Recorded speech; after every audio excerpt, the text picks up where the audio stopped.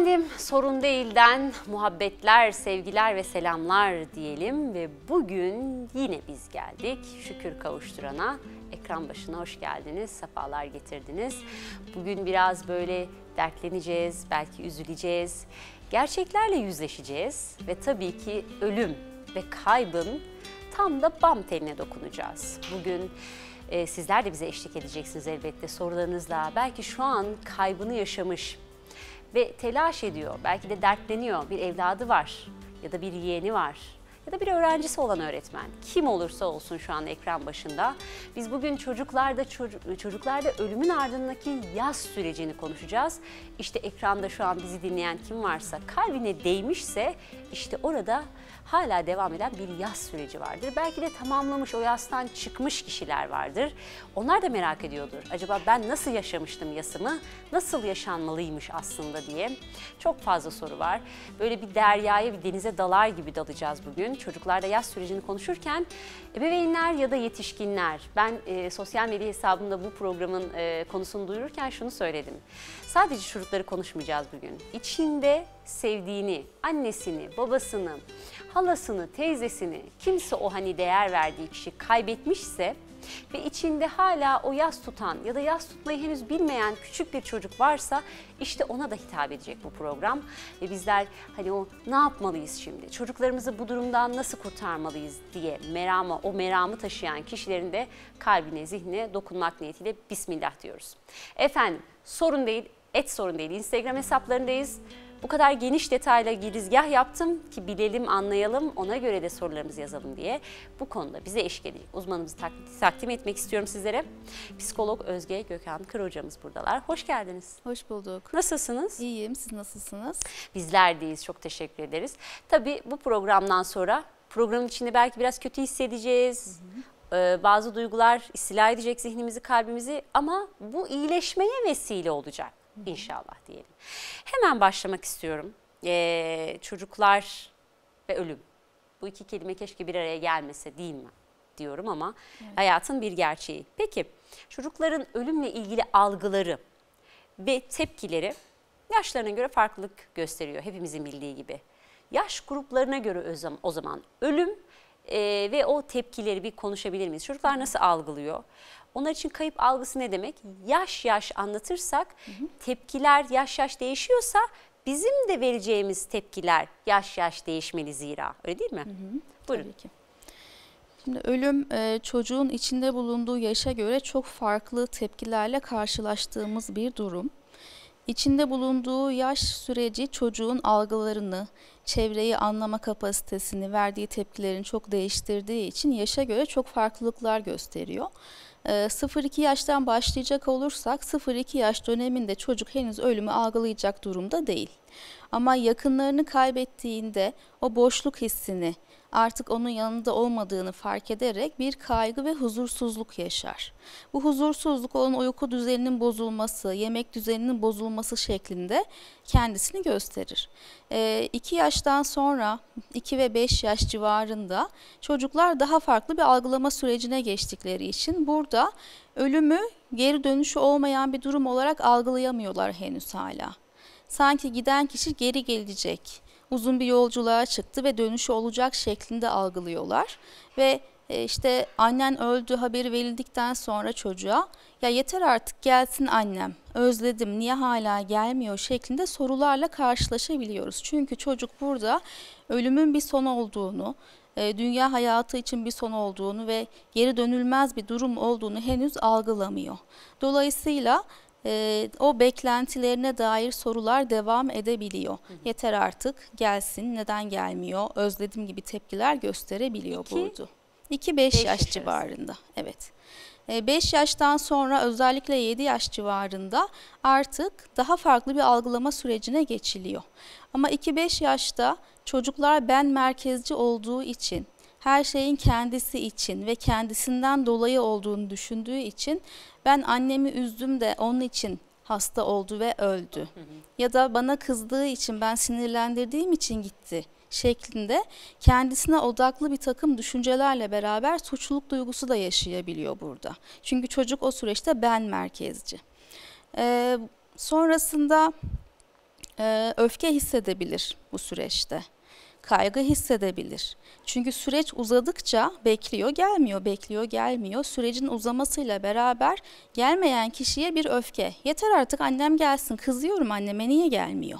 Şeklinde bir öfke ya da bir kaygı. Ya gelmeyecek mi acaba gerçekten? Artık yaş büyüdükçe dönülmez bir süreç olduğunu anlamaya başladıkça duygular da farklılaşıyor ve 7 yaş civarında artık dönüşü olmayan bir durum olduğunu algılamaya başlıyorlar. Ama henüz soyut düşünce yok. Cennet, cehennem, ahiret, yeniden dirilme, Buna dair hiçbir düşünce henüz yok. Çünkü çocuklar bu süreçte soyut düşünme sürecinde değil, somut düşünüyor her şeyi. Ne görüyor, ne duyuyor, neyi yaşıyorsa o kadarını algılayabiliyor. Görmediklerini, duymadıklarını algılama süreci henüz yok ergenliğe kadar 12 yaşa kadar. Dolayısıyla bu süreçte ölüm sonrasına dair bilgi vermek çocuğun kafasını karıştıran, onu allak bullak eden, e, taşıyamayacağı bir yükün altında bırakmak anlamına geliyor. Hı hı. O yüzden şu anda somut düşünce sürecinde olduğunu unutmamak ve tepkilerinin de yaşına göre farklılaştığını fark etmek çok çok önemli evet. burada. Belki izleyenler birazdan şu soruları sormaya başlayabilir. Peki soyut düşünce sürecinde değil ve ben bundan sonra şu sorulara nasıl cevap vereceğim? Peki şimdi annem nereye gitti? Peki şimdi babam ne yapıyor? Acıkmış mıdır? Toprağın altında ne yapıyor? Ya nefes alamazsa, e, korkarsa, ağlıyor mudur? O da bizi görüyor mudur gibi sorular. Bunlara nasıl cevap vereceğiz? Peki o, o e, soyut kısma giremezsek diye merak edenler beklesin. Onlara da cevap gelecek. Evet hocam yaş gruplarına göre geldik. Evet. Soyut döneme geçişte hı hı. çocukların tepkileri nasıl oluyor? Soyut döneme geçişte dönülmez bir durum olduğunu algılamak onlarda öfkeye yol açıyor. Giden kişiye karşı öfke, beni bıraktı gitti. Allah aldı kişi, kişiyi Allah aldı gibi söylendiyse çocuğa Allah'a karşı öfke. Niye annemi aldı, niye babamı aldı benden, niye beni babasız bıraktı şeklinde bir öfke. Doktorlara karşı öfke, onu iyileştiremediler gitti ve asla geri gelmeyecek bir daha şeklinde bir hüzün, bir depresif duygu içinde olabilir, öfke hissedebilir ve kaygı hissedebilir. Çünkü soyut düşünce daha geniş kapsamlı bakmasına yardım ediyor ve geniş kapsamlı baktıkça daha önce fark etmediği birçok şeyi fark etmeye başlıyor artık. Daha yetişkinlere yakın bir düşünce sistemiyle karşılaşıyoruz ve bunun getirdiği duygularda kaygı, öfke, belki suçluluk gibi duygular olabiliyor. Onun dışarıya yansıması da e, tabii ki olabilecek bir takım evet. davranışlar eşliğinde. Onları da ilerleyen dakikalarda Hı-hı. konuşalım. Peki e, bu yaş grupları göre farklılık gösterirken aslında temel belli başlı ayrımlar var. Hı-hı. Yaş ve o soyut ve somut kavramda. Peki bir çocuğa ölüm haberi nasıl verilmeli, kimler tarafından verilmeli? Ölüm haberi çocuğa en yakınları tarafından verilmeli bağ kurmuş olduğu, güvendiği, yakın ilişki halinde olduğu bir kişi tarafından verilmeli, bir uzman tarafından verilmemeli. Burada biz çok soru alıyoruz. İşte biz söyleyemiyoruz, siz söyler misiniz? Çocuğu getirelim, siz anlatın şeklinde. Bu doğru bir yaklaşım değil. Eğer çocuğun yakınları nasıl söyleyeceğini bilemiyorlarsa uzmandan kendileri yardım alarak nasıl söyleyeceklerini öğrenirler ve çocuğa kendileri aktarırlar. E, vefat eden kişi anne ise bunu babanın söylemesi, babaysa annenin söylemesi, en yakın kişinin söylemesi. İkisi beraber önemli. kayıp oldu. O zaman diğer akrabalar. En yakın kim? Teyze, Hala, amca. Dayı, teyze, amca ama çocuğun daha öncesinde yakın hissettiği, güven duyduğu ve bağlı olduğu bir kişi. Mesafeli bir ilişkide olduğu bir kişi değil. Çünkü o haberi verdikten sonra ortaya çıkan duyguları beraber yaşayacaklar. Bunu beraber paylaşacaklar, birbirlerine destek olacaklar burada. Ama mesafeli bir ilişki varsa çocuk bu duyguyu onunla beraber yaşayamayacak. Ve doğal bir süreç ve seyir izlenmeyecek burada. Ama burada şu da çok önemli. E, haber verecek olan kişi baygın bir durumda olabilir çok sağlıklı bir duygusal süreç içinde olmayabilir. Ne zaman verilmeli mesela bu da önemli evet, o zaman. Evet. evet. Ee, orada duygusal olarak biraz daha dayanıklı olan kişinin vermesi çok önemli. Çünkü zaten ebeveynden bir tanesi öldü diyelim ki. E bir tanesi de baygın çocuk için bakıldığında o da ölmek üzere. O da gidiyor. Yani çocuk için çok kaygı veren bir durum bu. O zaman e, haberi verecek kişi kaygılı olabilir ama bu kaygısını kontrol edebilen ve çocuğa bunu rahatsız edecek şekilde, onu ürkütecek şekilde, korkutacak şekilde yansıtmayacak bir yetişkin olmalı. Evet, travmatize etmeden. Tabii ki üzüntüsünü ifade edecek, ağlayacak, ben de şu an çok üzgünüm diyecek.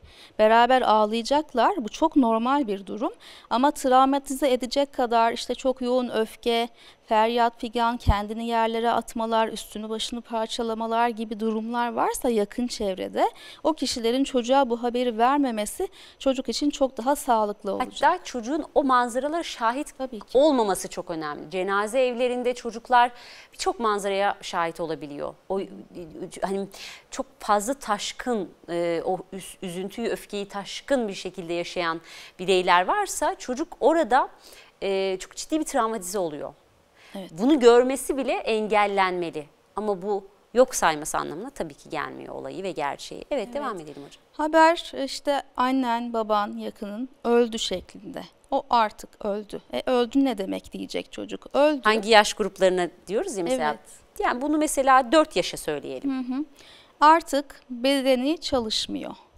Sanki bozulmuş bir telefon gibi. Bak telefon bozulmuş. Işığı yok artık sesi çıkmıyor. Arama yapamıyoruz. Şarja takıyoruz çalışmıyor.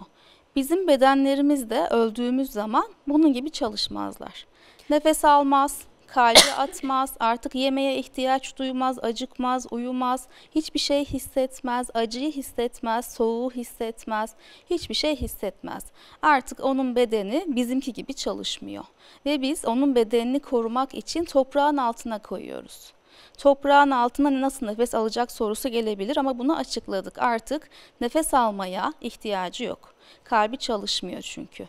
Çünkü acıkmıyor, bizim gibi hissetmiyor ve onun bedenini korumak için toprak en uygun yer. Ona özel bir alan ve biz bundan sonra onu mezarında ziyaret edeceğiz.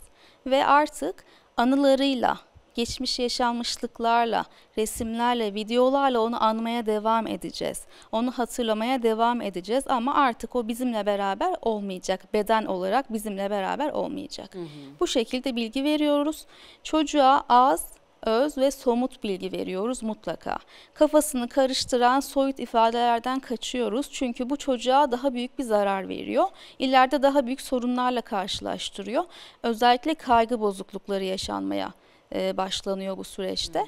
Şu an çocuğun ihtiyacı olan tek bilgi bu ve gayet yeterli oluyor. Peki e, ne zaman verilmeli? Yani ölüm bir ay, bir hafta, ölümün olduğu saat bu, bu önemli bir şey mi? Yani biraz daha çocuk oyalanıyor farkında mı? Bu tabii ki e, 7 yaş öncesi için söylüyorum. Çünkü 7 yaş sonrası zaten olayları fark ediyor, duyuyor ve biliyor, öğreniyor zaten. Hatta is- farkında olmadan öğreniyor çocuk. Öncesi için. Şimdi e, ölüm haberi ilk gün verilmesinde fayda var. Çünkü çocuğun işte cenaze törenine, e, taziye ziyaretlerine katılması, sürecin bir parçası olması onun yaz süreci için çok sağlıklı bir başlangıç. Ama bu süreçleri hiçbir şekilde yaşamadan atladıysa birdenbire baban öldü, annen öldü haberi vermek çocukta bir şok etkisi yaratacak ve o duygularını kendi başına yaşamak zorunda kalacak. Ama en başta verilmiş olduğunda Bir süre beraber yaşıyor aynı olacak. duyguyu. Herkes beraber üzülüyor, beraber birbirlerine sarılıp ağlıyorlar. Ölen kişi hakkında güzel anıları konuşuyorlar. İşte çok iyi bir insana olduğuna dair birçok paylaşımlar yapılıyor. Çocuk dahil oluyor sürece ve beraber atlatıyorlar. Ama travmatize eden bir ortam yoksa, buraya özellikle tekrar vurgulamak istiyorum.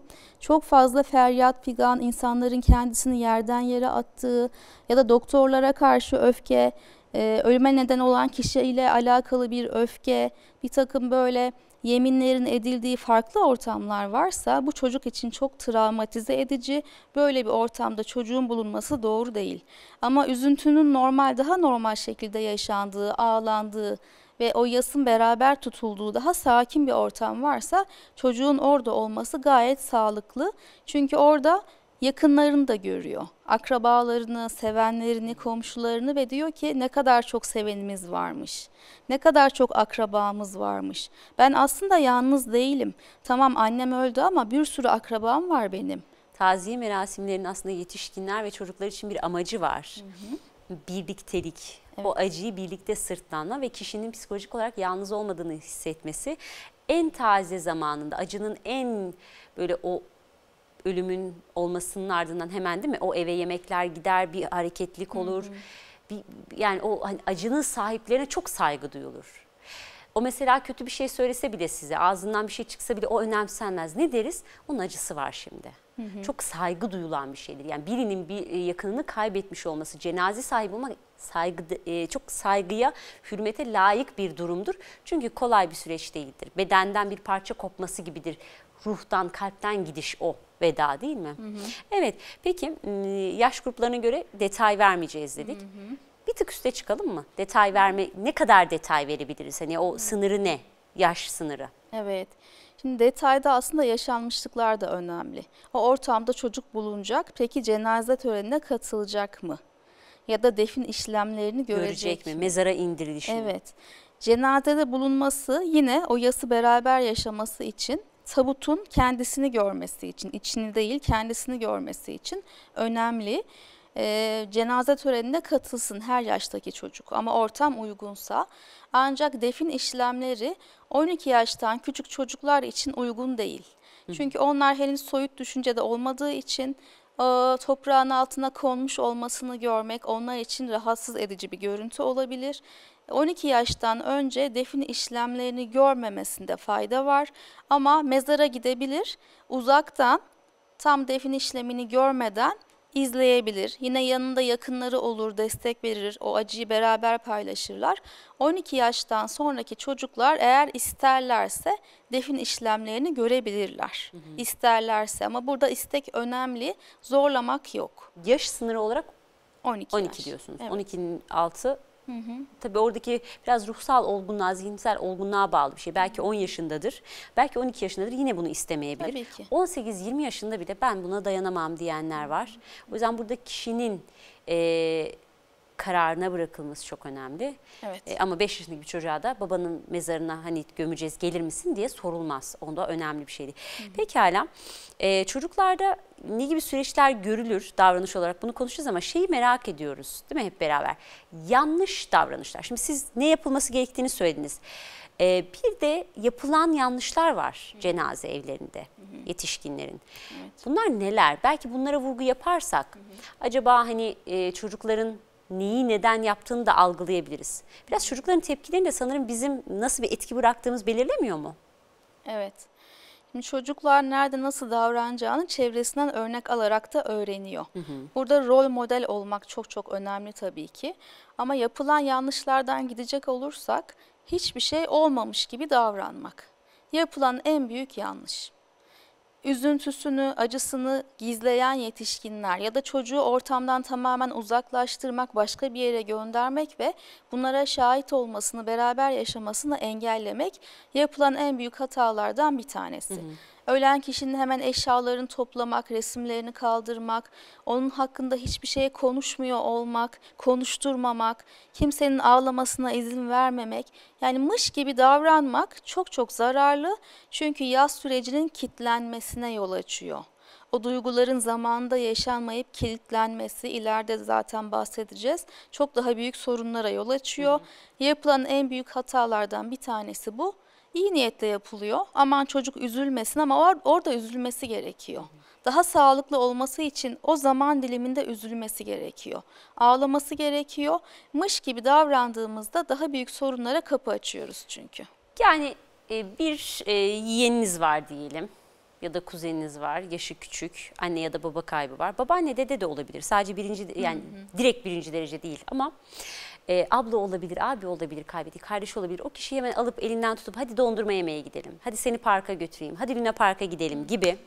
Çocuğu o acıdan kurtarıp eğlendirmek ileride inanılmaz büyük bir e, travmaya yol açacak. Çünkü çıkmamış bir iltihap, çıkmamış, akmamış bir e, şey var içeride, birikmiş. Ve bu yıllar yıllar içerisinde kapağı kapalı kaldıkça çok ciddi sorunları doğuracak. Onlara da birazdan geleceğiz ilerleyen dakikalarda. Yani tutulmamış yaz çocukluk dönemi olur. Ee, o erken çocukluk döneminden ziyade orada zaten çok fazla hani e, öğrenemiyor. Genelde çok küçük yaşlarda e, yakınlarınızı kaybettiyseniz bilirsiniz ki çocuktum anlamıyordum ama işte 15-16 yaşlarıma gelince bir şeyler oldu bana. O an tekrar teper. Çünkü e, algılama, sorgulama ve o kaybı hissetme nükseder. Tamam işte gelmiş o zaman. Gecikmiş de olsa o yas orada tutulmalı. Tutulmadığında birçok problem doğuyor. Onları da ilerleyen dakikalarda Özge Hanım bizlere tek tek anlatacak. Peki bunlar yanlış davranışlar. Başka neler var? Mesela çocuk yemek yemek istemeyebilir, Evet, reddedebilir. evet. Orada Çocukta na- na- nasıl tepkiler veriyor yetişkinler? düzen bozulabilir. Uyumak istemiyor olabilir, yemek yemek istemiyor olabilir, okula gitmek istemeyebilir. Altına kaçırmalar başlayabilir. Tabii gerileme dediğimiz davranışlar, daha önceki yaşlara ait davranışlar, altı kaçırma, bebeksi konuşmalar olabilir. Bunların her biri yaz sürecindeki normal tepkiler, normal. Kaygılanmaya gerek yok. Bunlar yaşanacak ama yoğunluğu azalarak bir süre sonra daha farklı bir aşamaya geçilecek. Bunlar normal tepkiler. Şimdi bu süreçte normal tepkiler olduğunu bildiğimizde davranış şeklimiz de ona göre daha anlayışlı olacak. Ama zorlarsak illa yiyeceksin, eskisi kadar iştahlı olacaksın. Gidip parkta arkadaşlarınla oynayacaksın, hemen okula gideceksin gibi zorlamalar çocuğu daha da e, olumsuz yönde etkileyeceği için zarar verecek. Bunlardan uzak kalmakta fayda var. Şimdi diğer hatalı tutum, sen ne kadar çok ağlar, üzülürsen annen de o kadar üzülür. Ona zarar verirsin. Onun yattığı yer cehennem çukurlarına döner. Maalesef O senin bunlarla ağlamanı karşılaşıyoruz. istemezdi diyerek Evet, değil mi? evet. Vefat eden kişi adına konuşmamak çocukla. Şimdi bu durum çocuğun duygusunu bastırmasına ve suçluluk duygusu hissetmesine yol açıyor. Çünkü ben annem uğruna ağlıyorum. E annem bir de zarar görüyor benden dolayı. Ne kadar kötü bir şey yapıyorum ben. Duygumu bastırmalıyım. E bir de suçluluk duygusu var şimdi. Ne yapacağım ben? Çaresizlik. Ve duyguları bastırmanın getirdiği sorunlar. O yüzden bu tutumlar çok çok zararlı. Ve Peygamber Efendimiz'den bir örnek. Ee, oğlu İbrahim'i kaybettiğinde, vefat ettiğinde bir buçuk yaşındayken o da yasını tuttu, ağladı, gözyaşlarını herkes gördü, üzüldü. Peygamber Efendimiz amcasını kaybettiğinde. Tabii ki, şey tabii ki. Ee, ölenin arkasından ağlamak, üzülmek kadar normal bir şey olamaz. Ama sessizce ağladı. Çok taşkın hareketler yapmadan ağladı ve Orada üzüldü. bir vakur vardı değil mi? Evet. Dolayısıyla ağlamak ve üzülmek gayet normal. Ölen kişiye zarar veren bir durum değil ya da onun azap çekmesine yol açan bir şey asla değil. Çünkü hiç kimse başka kişinin davranışından dolayı sorumlu tutulamaz. Hele ki bir çocuk asla. O yüzden böyle çocuklara gereksiz suçluluklar yüklemeyelim lütfen. Başka neler yapılıyor? Allah onu bizden daha çok sevdi. Allah sevdiği kişileri yanına alır. Şimdi Allah bizden daha çok sevdi, biz sevemedik. Yine suçluluk duygusu. Biz yeterince onu sevemedik. Yeterince bakamadık, yeterince değer gösteremedik. Yetersizlik ve suçluluk duygusu getiriyor. Ben daha çok sevseydim demek ki annem gitmeyecekti. Suçluyum Allah'tan daha ben. çok sevmemişim annemi gibi bir Evet. düşünce hasıl olabilir. Çocuk zihni bu çünkü. Ve Allah sevdiği kişileri yanına alıyorsa e ben kötü birisi olacağım. Beni sevmesin o zaman. Ben ölmek istemiyorum çünkü. Şeklinde kötü birisi olmak için alınan bir karar olabiliyor maalesef. Evet. Hiç belki de bunlar söylenirken arkasından getireceği durumlar tasavvur edilmiyor. İyi niyetle söyleniyor. Çocuğa yardım etmek için söyleniyor ama maalesef çok daha büyük zararlar veriliyor. Yani en azından kişi ne söyleyeceğini bilemiyorsa bile sussun. Susmak da bir erdemdir. İlla bir şey söylemek gerekmiyor. Sadece başına okşamak, sarılmak ve öpmek de yeterli. İlla bir şey söyleyerek çocuğa destek olmak da gerekmiyor. Şu da bir gerçek. Hem yetişkin hem de çocuk için bir gerçek var. Bir yerde ölüm ve kayıp varsa hiçbir kelime, dünyadaki hiçbir cümle o acının yasını e, ortadan kaldıramaz. Ya da o kaybın, o yokluğun e, sızısını dindirmez. O yüzden hani o bir, şey söylemeliyim, bir şey yapmalıyım derdinde olmasın yakınlarda Meram'da. Orada olması gereken olsun. Sizin vazifeniz olması gereken şeylerin orasında durmak. Bir yerinde siz de bulunun ki kötü günümde yanımdaydı. Kötü gününde yanındaydım. ben de o acıyı paylaştım. Bu hissi yaşamanız kendiniz ve diğer insanlara, sevdiklerinize yaşatmanız önemli bir mesele. Evet.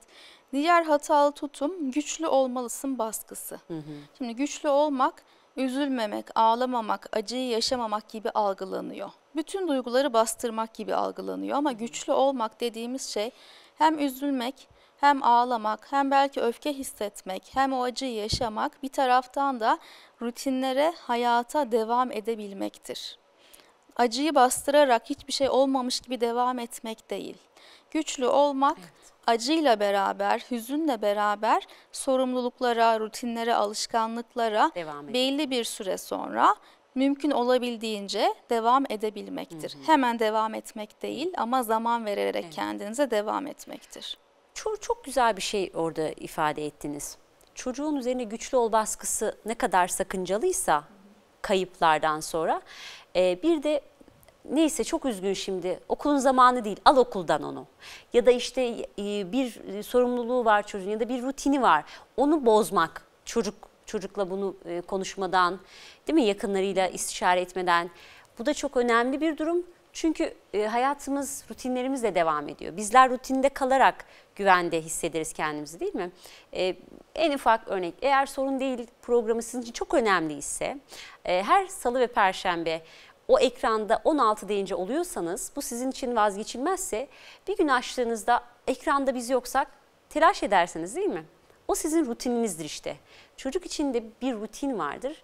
Okulu varsa, kreşi varsa, belli başlı aktiviteleri, kursları varsa belli bir süre izin alınabilir. Bir istirahat, o yasa saygı, ım, o acılı dönemin, o kaynayan, o fokurdayan zamanının geçmesi beklenir.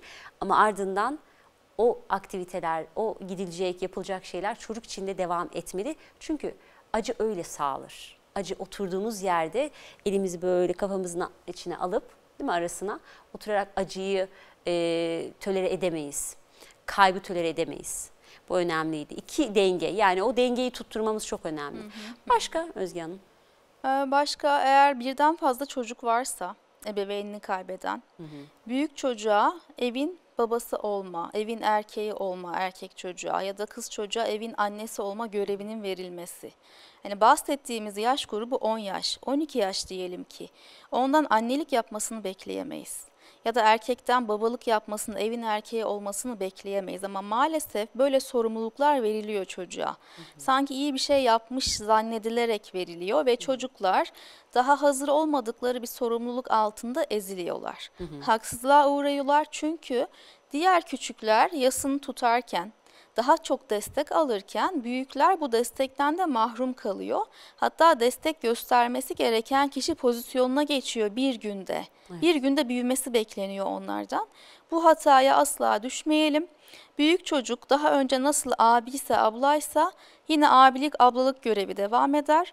Ama küçük kardeşlerinde ona karşı destekleyici görevleri devam eder. Yani karşılıklı birbirlerine destek olmaları gerekebilir. Yeni sorumluluklar almaları gerekebilir ama herkesin yaşına ve potansiyeline uygun bir şekilde bunun yapılması önemli. Ee, diğer hata uzun bir yolculuğa çıktı derin bir uykuya daldı gibi ifadeler kullanmak. Eğer bir çocuğa ölümü bu ifadelerle açıklarsanız yolculuklardan aşırı şekilde korkacak. Hiç kimseyi bir yere göndermek istemeyecek. Uyumaktan korkacak, derin uykuya daldı diyorsanız eğer uyumaktan korkacak, direnecek uykuya karşı ya da yakınları uyurken gördüğünde onlarda mı öldü acaba kaygısı yaşayacak. O nedenle böyle çarpıtılmış bilgiler vermeden ölümü açıklayalım az önce bahsettiğimiz şekilde. Şimdi doğru tutumlar ne olmalı? Burada çocuğun en temel ihtiyacı olan şey güven duygusu. Güvene ihtiyacı var. Güven duygusu demek şu anda hayatımda bir takım değişimler olacak. Artık diyelim ki annem yok. E bundan sonra beni okula kim götürecek? Ödevlerimle kim ilgilenecek? Beni kim hazırlayacak okula? Hayatım nasıl olacak bundan sonra soruları geliyor arkadan.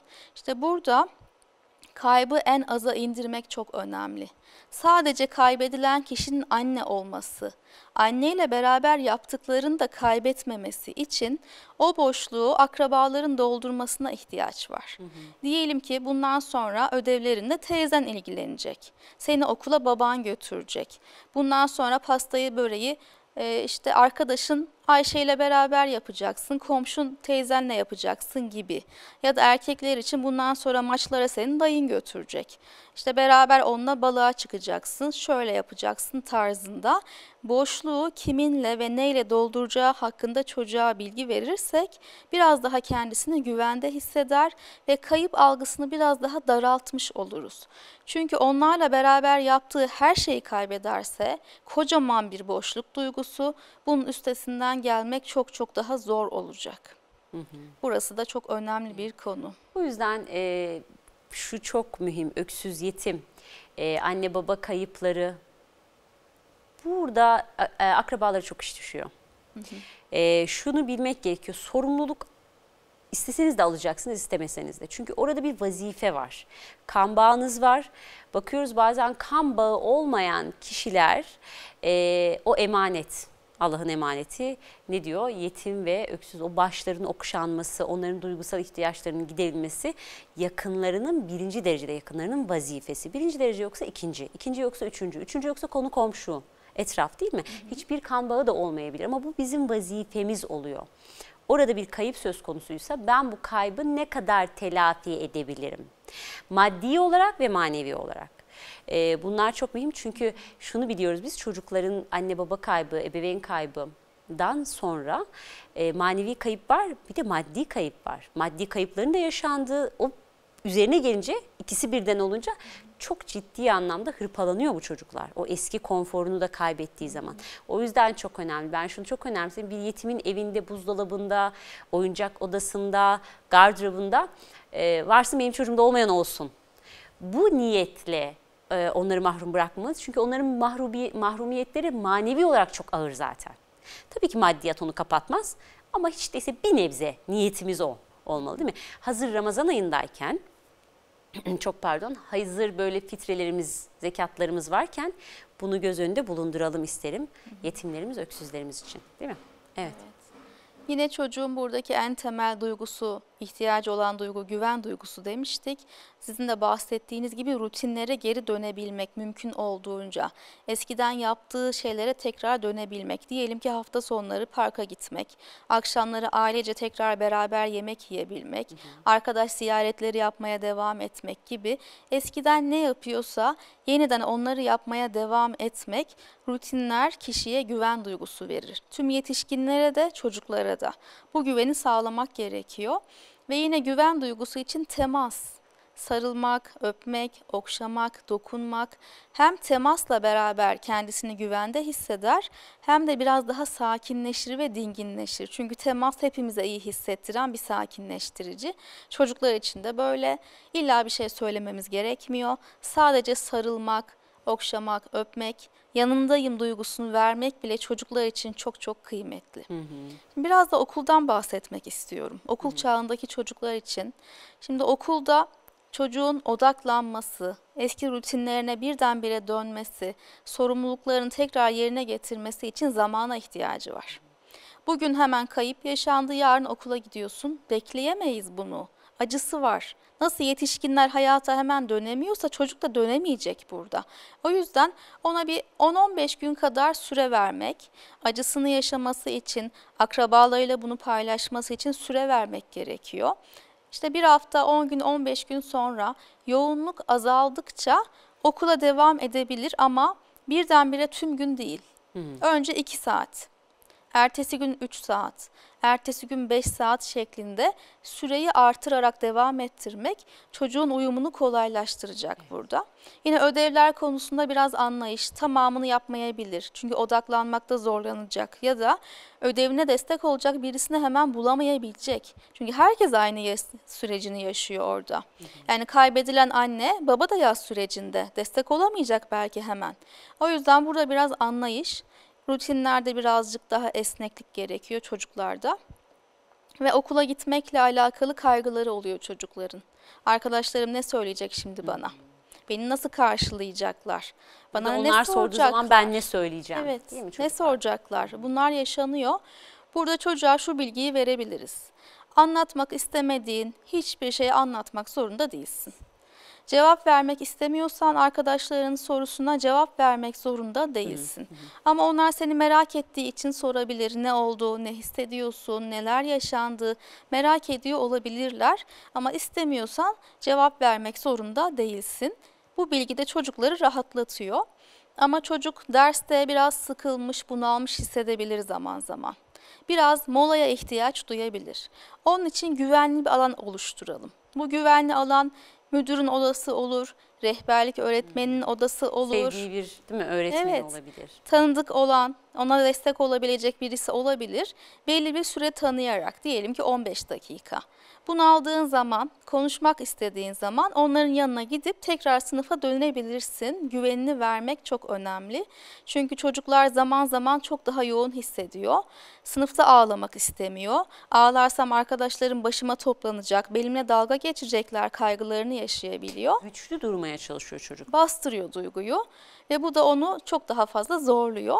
Onun için bir kolaylık, esneklik tanıyarak ona güvenli alan oluşturmak çok çok işe yarıyor. Evet. Bunlar önemli. Peki e, sonuçta bu yaz çocukluk çocuklar nasıl başa çıkar ya da şu an yetişkin hala acı çekenler varsa ekranda.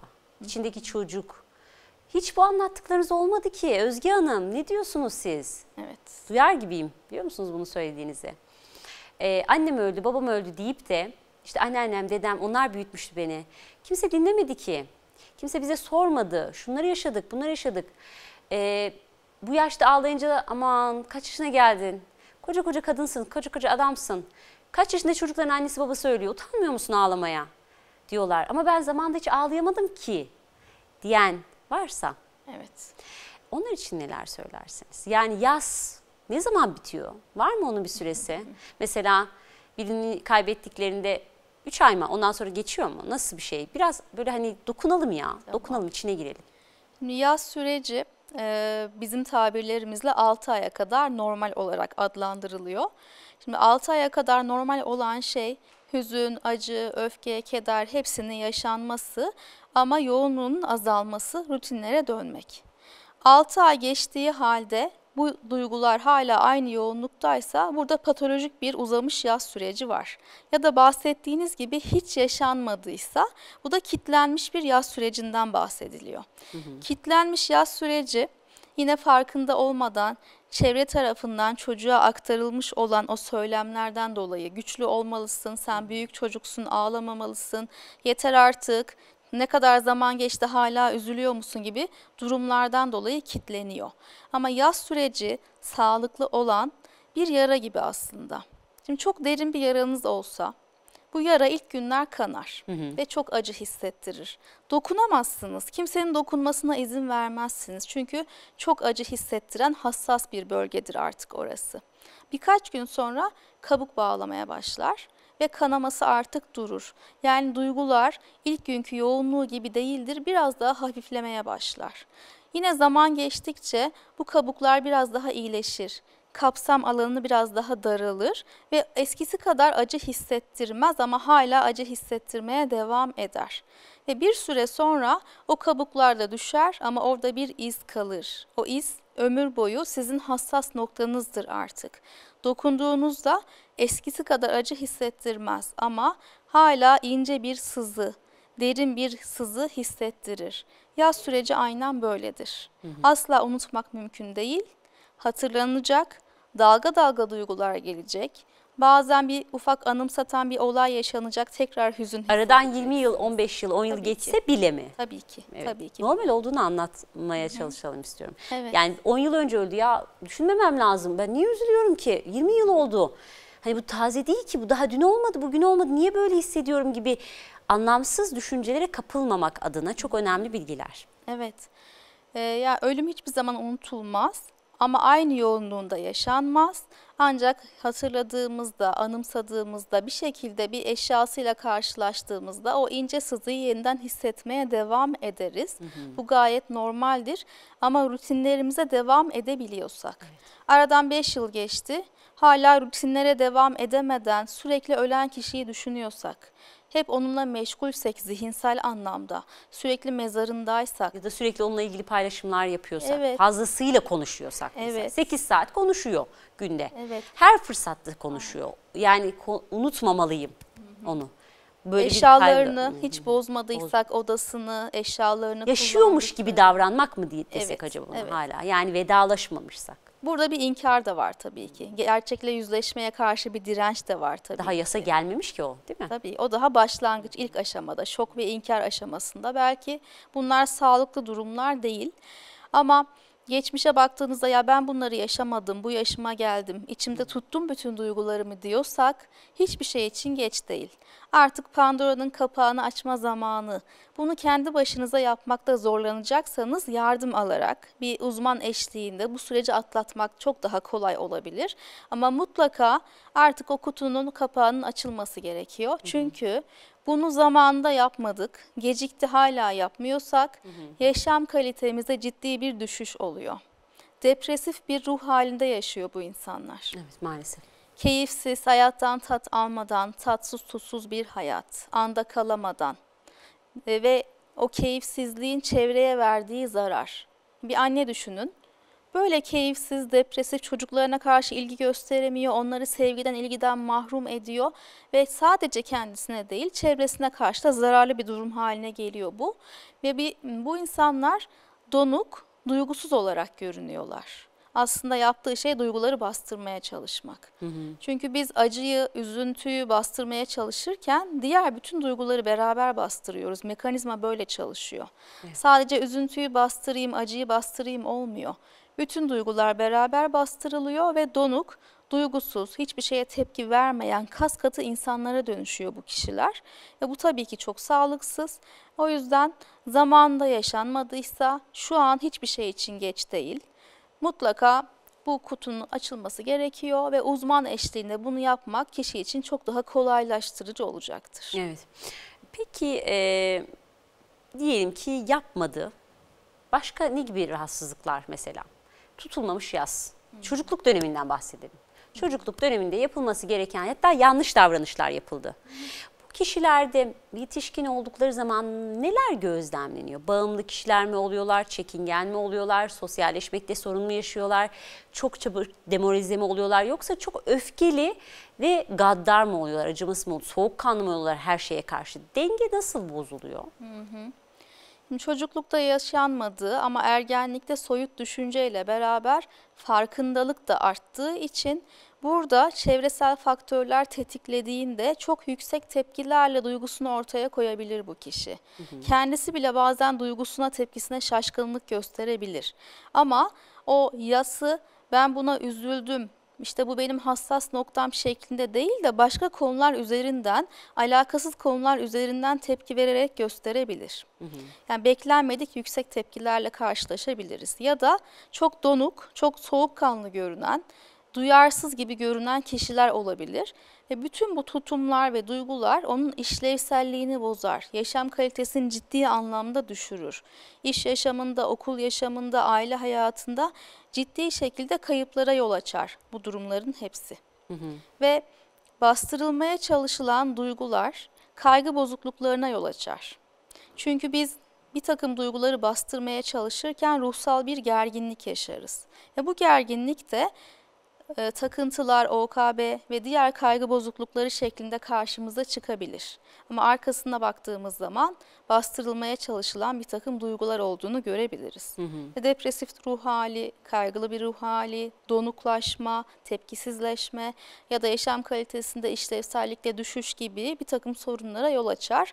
Ama biz onun dayandığı temelin o tutulmamış yas olduğunu farkında olmayız genellikle. Bunlar terapiler sırasında karşımıza çıkarlar.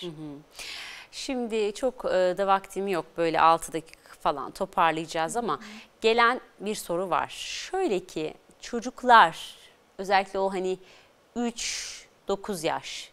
Benzer sorular, benzer yaş grupları. Yani soyut dönemde değil henüz, somut dönemde olan bir çocuk. Mesela teyzesi yazmış, ee, annesi vefat etti. Covid'den vefat eden var. Mesela 5 çocuk kalmış, 3 çocuk kalmış. Şöyle göz gezdirdim, zamanım az. Detay, aynı cevaplar geleceği için soruları size şöyle özet geçmiş olayım. Covid atlattık haliyle bir. Yani artık bugün atlattık diyebiliyorum çok şükür ki bugün e, gelen haberde değil mi maskelerle ilgili bir gelişme oldu sevindirici. Rabbim inşallah dünyanın üzerinden böyle musibetleri bir daha göstermesin alıp gitsin inşallah diyelim. Ee, tabii ki bu zorlu süreç bitmiş bitti diyoruz ama insanların da bazı noktalarında bitirdiği yanlar oldu. Biten hayatlar oldu. Şu an Covid bitse bile biten hayatlar oldu. Çok erken yaşta hani sağlıklı olup da Covid'e yakalanıp bir şekilde komplikasyon gerçekleşip kayıplar yaşandı değil mi? 35, 30, 25 bu yaşlarda hani bebek bile arkasında kalan bırakan e, insanlar oldu. E, tabii ki kronik hastalıklar olabilir ya da kanser hastası olabilir. Bu tarz durumlarla e, çok yakın zamanda hep alıyoruz mesajlar. Siz de görüyorsunuzdur. Çocuk mesela şimdi nerede? Ne yapıyor gibi sorular. Somut olarak o an kitlenip kalıyorum. Cevap veremiyorum. Hı hı.